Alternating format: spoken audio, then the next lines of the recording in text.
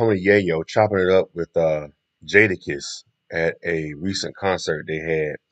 Um, let's go ahead and check out this footage and see what they're talking about, y'all. Hit the thumbs up button. I argue with niggas over Biggie too, man. You ain't got to ask Kiss that question, nigga. I got- I line up three or four. Every, when I see you going to war for BI like that, That's beat right, nigga. Anybody. That's That's right. why you the illest. Your That's shit right. don't change the caliber of the opponent. That's right. Fuck that. That's right. That's right. That's right, gang. That's right, No, gang. Homer started playing mad Ice Cube shit from like the first album, Death Certificate and all that. My son Light started playing Biggie, nigga. The room just shifted, nigga. Yo, you know the? I said this nigga Yayo. Go hard, pause, hard. And you break nigga, you break it down. Yo, I- Play oh, your shit. slipped. Let me hit this. Look. Look at this shit, nigga. You hear this? That shit out Don't compare it. Don't compare it. Look, I'm with Slim Thug. We in Texas, right? So he kind of mad because 50 got the Astros ring and all that. Like, yo, I want my ring and shit. Uh-huh. So we laughing and shit. So we start. He like, yo, I ain't gonna front. Ice Cube better than Big. I'm like, oh, come on, bro. Y'all niggas, I'm like, niggas hate New York niggas, man. Yo, But yeah, but, I mean- arguing with niggas over Big.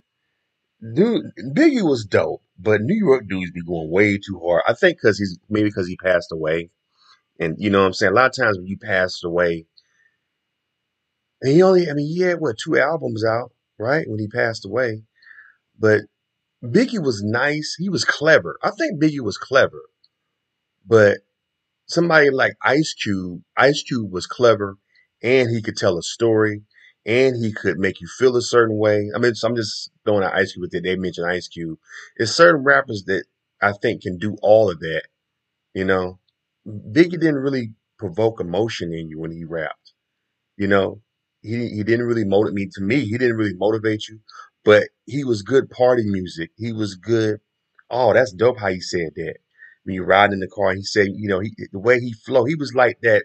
He was kind of, he kind of, you know, and not because he's big, but he kind of reminded me of E40. E40 wasn't really a really good rapper to me, but his his wordplay, his quickness, his cleverness, and his putting his words together was what is what grabbed you. Plus, he had party music, so I think it's the same thing with Big. He was more of like a East Coast E40. I mean, that's what I'm thinking. That's what I feel. What y'all think? Leave your comments. Subscribe to Charles Arnes World. Appreciate it.